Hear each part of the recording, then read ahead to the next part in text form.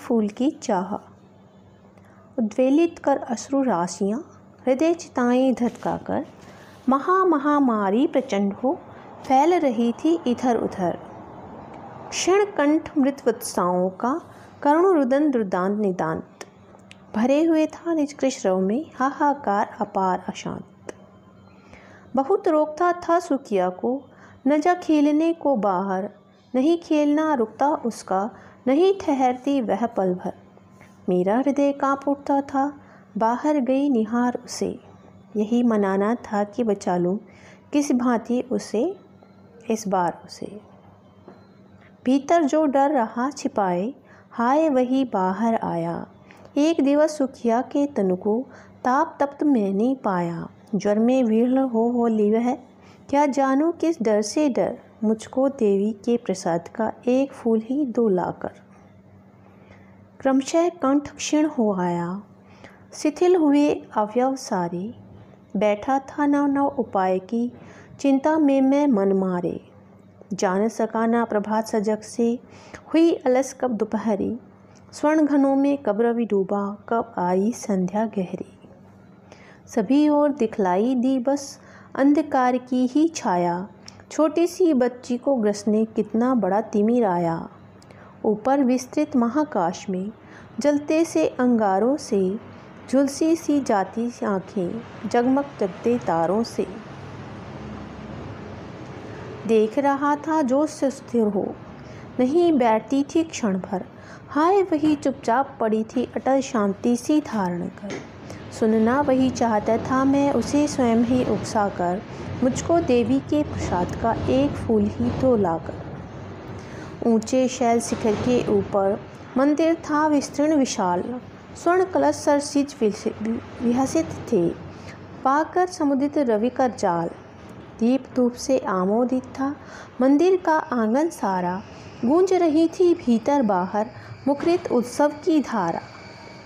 भक्त वृंद मृदु मधुर कंठ से गाते थे सभक्ति मुदमय पतित तारिणी पापहारिणी माता तेरी जय जय जय।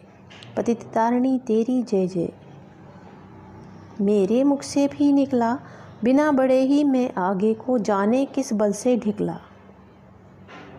मेरे दी फूल लेकर वे अम्बा को अर्पित करके, दिया पुजारी ने प्रसाद जब आगे को अंजलि भर के भूल गया, उसका लेना झट परम लाभ सा पाकर मैं। सोचा बेटी को माँ के ये पुण्य पुष्प दूँ जाकर मैं। सिंहपुर तक भी आँगन से नहीं पहुँचने मैं पाया। सहसा यह सुन पड़ा कि कैसे यह अछूत भीतर आया। पकड़ो, देखो, भाग न जावे। बना धूर्त है यह कैसा। साफ़ स्वच्छ परिधान किए हैं भले मानुस की जैसा। पापी ने मंदिर में घुसकर किया अनर्थ बड़ा भारी। कलुषित कर दी है मंदिर की चिरकालिक सुचिता सारी। ए क्या मेरा कलुष बड़ा है देवी की गरिमा से भी? किसी बात में मैं आगे माता की महिमा के भी। माँ के भक्त हुए तुम कैसे? करके यह विचार खोटा। माँ के समूह ही माँ का तुम गौरव करते हो छोटा। कुछ न सुना भक्तों ने झट से मुझको, मुझे घेर कर पकड़ लिया। मार मार कर मुख के घूसे धम से नीचे गिरा दिया। मेरे हाथों से प्रसाद भी बिखर गया हा।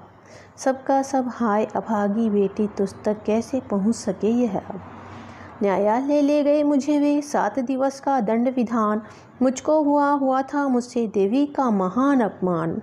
मैंने स्वीकृत किया दंड वह, शीश झुकाकर चुप ही रह। उस असीम अभियोग दोष का क्या उत्तर देता, क्या कहे?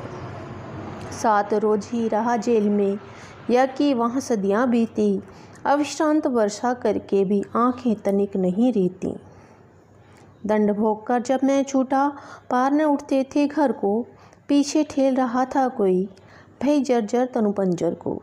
पहले किसी लेने मुझको नहीं दौड़कर आई वह। उलझी हुई खेल में ही हा, अब की दीन दिखाई वह। उसे देखने मरघट को ही गया दौड़ता हुआ वहाँ। मेरे परिचित बंधु प्रथम ही फूंक चुके थे उसे जहाँ। बुझी पड़ी थी चिता वहाँ पर, छाती दतक उठी मेरी। हाय फूल सी कोमल बच्ची हुई राख की थी ढेरी। अंतिम बार गोद में बेटी, तुझको ले न सका मैं हाँ। एक फूल माँ का प्रसाद भी, तुझको न दे सका मैं हाँ।